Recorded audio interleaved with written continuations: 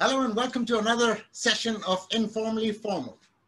I am excited as always because today I bring to you someone that is intelligent, sharp, very knowledgeable, and someone that is a mover and shaker in the digital space in Bangladesh. I'm talking about Rahel Ahmed. He is the new CEO of Nagad, the uh, latest, I would say, entrant into the uh, mobile financial space in Bangladesh. Prior to that, he was managing director of Prime Bank. Before that, many senior positions at Standard Chartered. He has also had senior management positions with various banks in the Middle East. I am super excited. Welcome. Welcome to you. Rahel, welcome to the show. Thank you, Akberbhai. Thank you for having me here and thanks for the uh, kind words. Absolutely, absolutely. You worth every word of it so let's get started, um, Rahel. Today, our topic is going to be about the mobile financial services space in Bangladesh. And my first question to you would be, you know, people would spend a lifetime wanting to be the managing director of a bank. Now, you left, uh, you know, solid position with uh, being the managing director of Prime Bank and moved to Nagad. What prompted you to do that?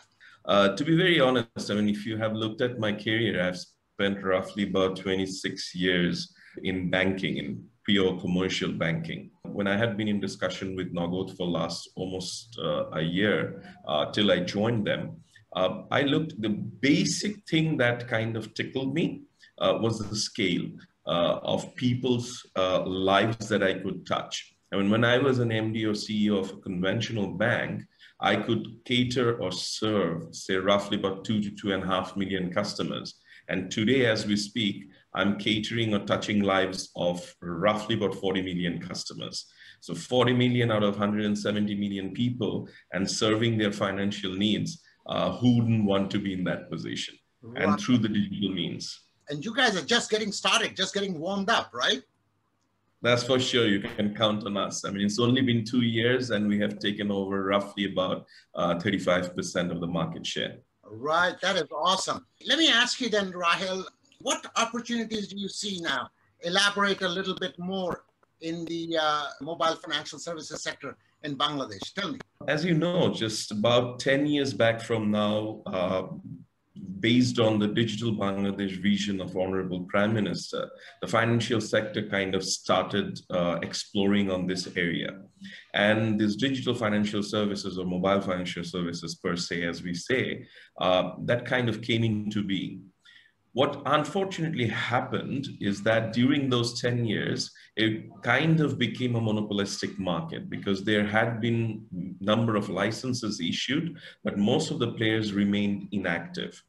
And uh, what you have seen, I mean, when the market started of mobile financial services, it kind of became an intra-country remittance uh, vehicle. So you want to send money from one corner of the country to the another corner.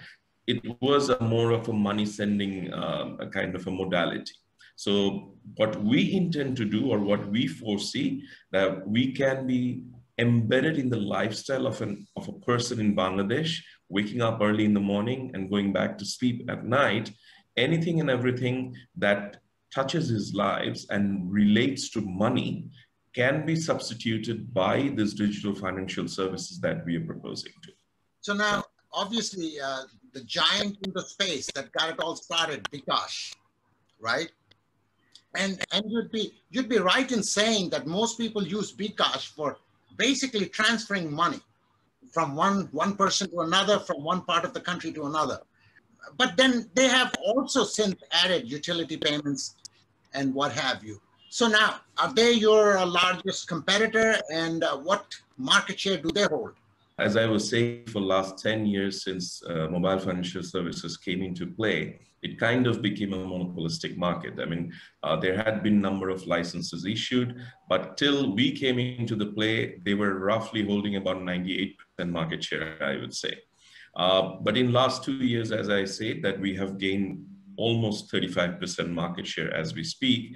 And every day we are increasing our market share because um, if we look at the customer numbers, they have roughly about 50, 54 million customers as we speak in 10 years, whereas uh, we have acquired almost 40 million customers in last two years. So wow. that gives you a kind of a, a related uh, scenario how it goes. But definitely uh, kudos and uh, credit goes to bKash for uh, being the maiden player in this market or in this space and creating avenues or creating roads or paths for many of us to follow later. Let me ask you, is it your uh, ascent, I mean, Nogod's ascent, would you say has a lot to do with the fact that, you know, it is uh, with the Bangladesh Postal Service? Is that the reason? Because the footprint already exists.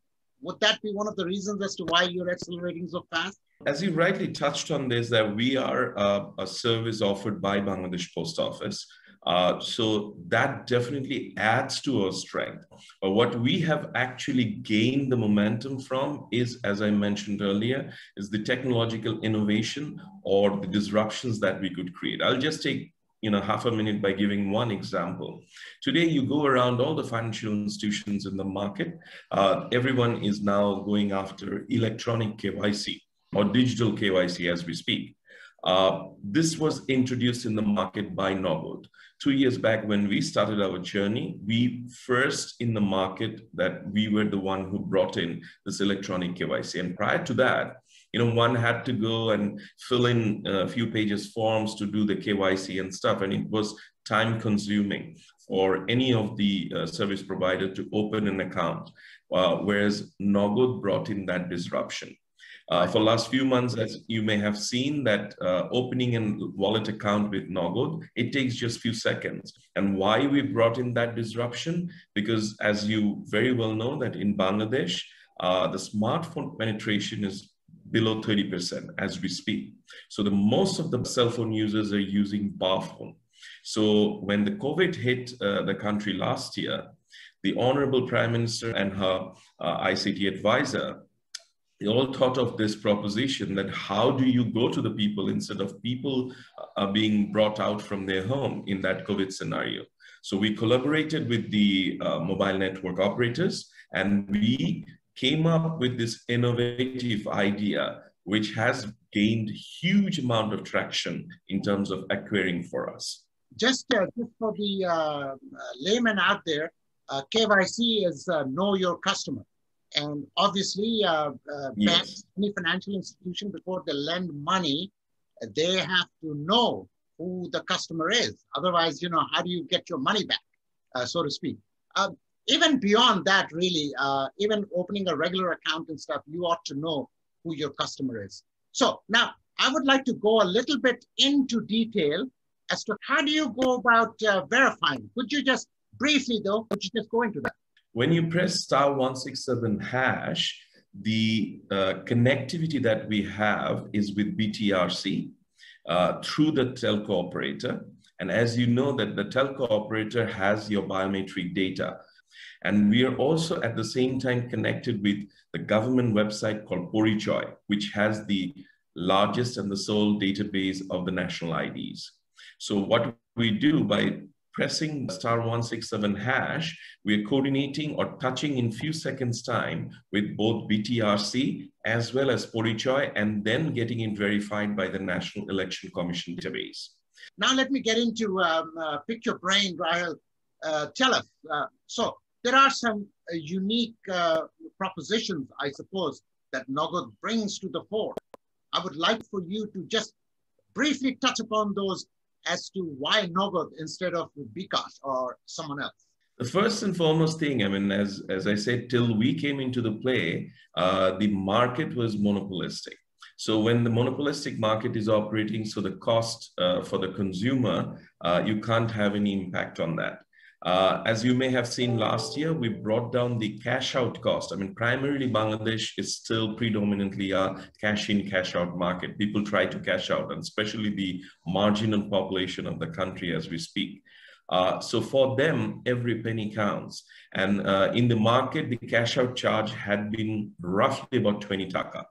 Um, where we brought it down to a single digit 9.99 excluding the VAT and AIT. So even if you add the VAT and AIT, it is roughly about 11.49.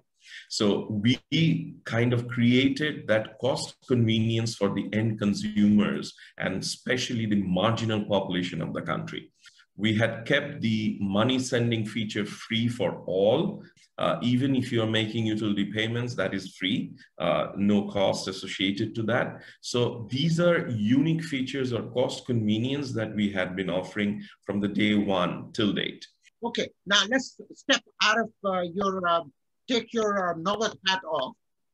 Speak in general to me about uh, the opportunities in the mobile financial space. What do you see fast forward five years, what do you see that space? What does it look like? Uh, I would say not even five years. I would say much earlier. Uh, the digital financial services, as we speak, uh, becoming digital bank. I mean, digital bank is the call of the time. At the moment, the services that we offer are just few of the services short than what a conventional or a legacy bank offers. If I am or we are given the entitlement or the right to save money for people uh, as well as lend money for people, uh, then we become a full-fledged bank. So uh, as we have seen in the West for last four, five, six years, and we are seeing more happening in Asia, in different markets in Asia, uh, Vietnam, Philippines, Malaysia, Singapore, even the neighbor country, India, uh, they're opening up the digital banking space quite rapidly over the last couple of years. This is one space where we think we are ready now to trans um, kind of um, you know uh, shift from this mobile financial services or digital financial services to a full-fledged digibank. Okay. So that is what I see happening. Rahel, not to interrupt, but I'm surprised that you didn't mention China because as you very well know in China, many places you can't even, you can't even uh, your uh, local I mean uh, the currency, whatever currency that you carry is not even accepted. So between all these digi payments and stuff like that, you go, you basically use your phone, and that's it. My apologies. Yes, China is definitely the best example of Asia. Uh, but you know why I'm talking about other countries, not China, because China over the last 10, 12 years, the digital behavior uh, of the whole society or the full ecosystem has been built as such that you can't even buy a banana on the street or a water without uh, making a digi payment. Exactly. But countries like countries like ours, uh, say if I compare ourselves and more like the neighboring countries or even the Southeast Asia country, Asian countries, uh, where the digital behavior is not as penetrated as in China. Uh, this is uh, this is something which is forthcoming, and uh, the government has been initiating this for last ten years, as we as we as I mentioned, that the digital Bangladesh vision has been there, the digi infrastructure has been built over a period of time, uh, the digital behavior has been accelerated over the last one year. Uh, so now the space is ready, I would say, to slowly uh, kick off with the DigiBank. Uh, very quickly now, we're coming to the end of the session. It's amazing how when you're having fun, how time flies, you know. Uh, talk about, real quickly, talk about uh, digital lending. How far away is that? And by the way, I must mention that you're one of the um, person that pushed through the, um, what is it called, no collateral lending in the ICT uh, sector. Is that correct? Yes. Yes. Uh, last year, when uh, the COVID hit the country, I mean, uh, uh, during my immediate past role uh, from Prime Bank, we were the first one to offer collateral-free credit to the ICT sector companies. that became a great success at that point of time, and that was the call of, you know, the need of the time. Uh, the digital lending, uh, as you were asking, has already started uh, in a very minimal scale uh, as we speak, but that needs to be, you know, uh, expanded further. Uh, bKash has started it with collaboration with City. they call it nano lending. Now, in Bangladesh, as we as we know, that almost 90% of the payments are still made cash by cash. So that digital behavior needs to be fostered further to, to bring in that full-fledged digital ecosystem uh, ready for digital lending. But it is happening slowly but steadily, and I see that being accelerated in next two to uh, three years max. You know, we have talked about kind of uh, the uh, present uh, landscape as well as what the future looks like uh, in this space. So, you know, in conclusion, just give me in three, four bullet points what the future looks like.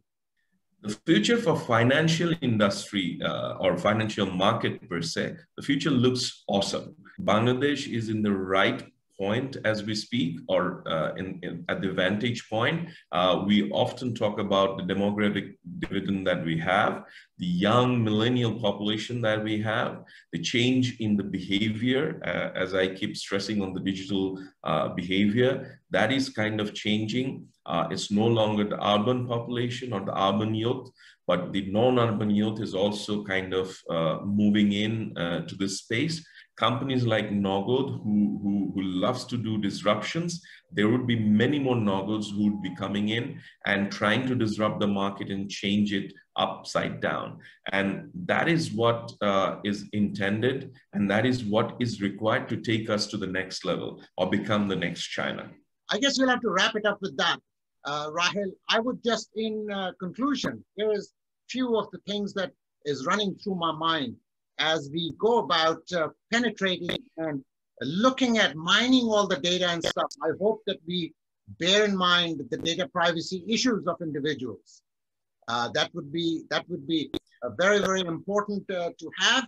And the other thing is, uh, I don't know if you guys have looked into uh, maybe collaborating with some of the other social media space that already have tons and tons of data that you could use to um, you know, pattern the buying habits of uh, people over here. And one last thing is, uh, you know, uh, broadband. In uh, city centers, urban centers, we have great broadband connectivity, but in the rural areas, it's still mostly data. I hope that we're able to overcome that. And my closing remarks would be, I've always said it in each and every one of my sessions, broadband internet connectivity is like roads and highways, make it free. So with those uh, words, I guess, Rahel, what a pleasure it was. I love talking to uh, movers and shakers, someone like you that is making things happen. What a pleasure. I'd like to thank, thank you. you so much. Once again, thank our audience for joining us. Please stay safe, stay home. We are going through some bad times, but we shall overcome it. And uh, I will see you in the next session. Bye-bye.